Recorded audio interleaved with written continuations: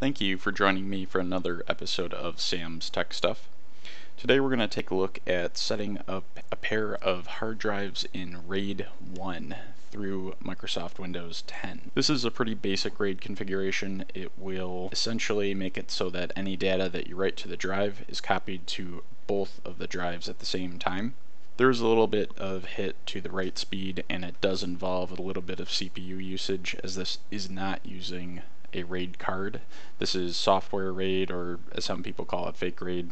This RAID solution is good if you don't have any money to spend on a cheap RAID card on eBay or Amazon or anything like that and it is definitely not a backup for your important data. Just want to get that out of the way. If you are looking for something like that, I'll be doing a couple of videos soon on RAID cards and my storage setup. You want to make sure that you get subscribed to the channel and click that little red bell so that you get those notifications. Now let's take a look at opening up the disk management tool, find the two drives that we installed, and set them up in a RAID array. So we're going to click on start and type disk management you just type diskman, you'll get create and format hard drive disk partitions, so that'll work. Now on my PC I have a lot of hard drives and a lot of optical drives, so there's a lot here. Your PC probably won't look exactly like this. What you'll want to do is find the two hard drives that you plugged in and make sure that they're first online drives, which both of these are. In my case there's no data on these, so I'm not going to back anything up. So now that I know where the two drives are, disk 0 and disk 1, I'm going to create the RAID array. So I'm going to right click on the first one and then choose mirrored volume. So this will take you through the array wizard in Microsoft Windows.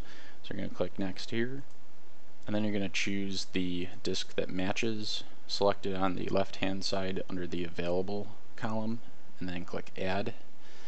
Then you'll see both of the disks over here. If you don't want the maximum amount of storage in this RAID disk, then you would change this. But I want everything in here, so I'm just going to leave it as default. Then I'm going to hit next. And we'll have to pick a drive letter. I just always let the computer pick whatever the next letter is, so in this case we're going to do drive E. Hit next.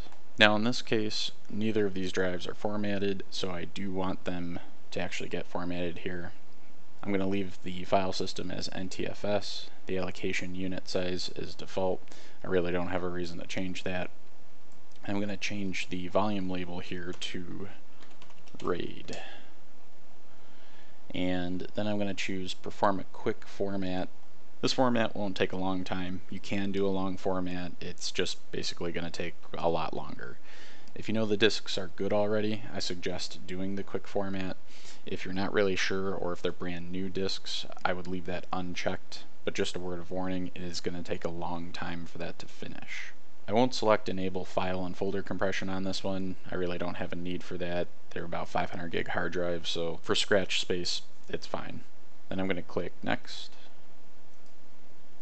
and in this screen you can review all the settings you chose in the wizard I'm happy with everything here, so I'm going to click Finish. So then you'll get a warning from the disk management tool that it's converting these basic disks to dynamic disks.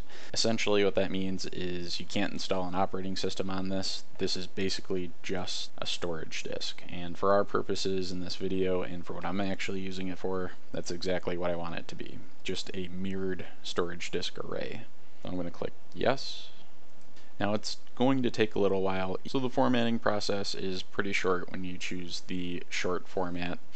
Now you can see disk 0 and disk 1, instead of being black, they're highlighted in red. It means that they're both in the RAID array now, and you can see under the description that they are both drive E.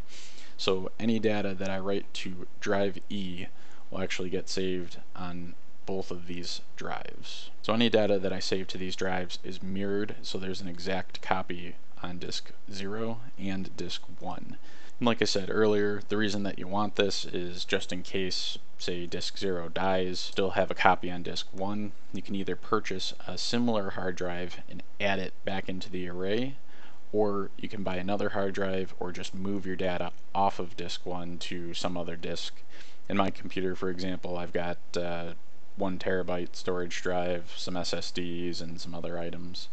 So now that we have our RAID array set up, let's just double check it in Windows Explorer. Click on the manila folder down here, and we can see that RAID E is now a drive, and we can create items on it.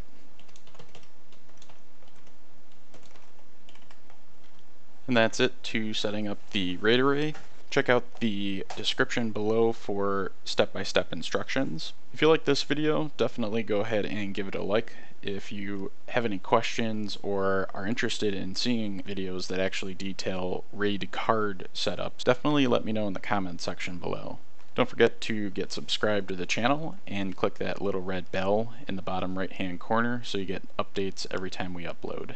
You can follow us on Twitter at Sam's Tech Stuff or on Facebook, facebook.com forward slash Sam's Tech Stuff, or check out our website, samstechstuff.com.